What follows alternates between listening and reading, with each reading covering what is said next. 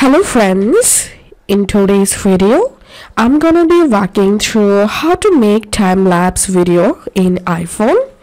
Open your camera and here select time-lapse.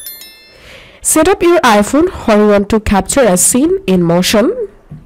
Then tap the record button to start your time-lapse recording and to stop recording tap on this stop recording icon and that's how you can make time-lapse video in iPhone.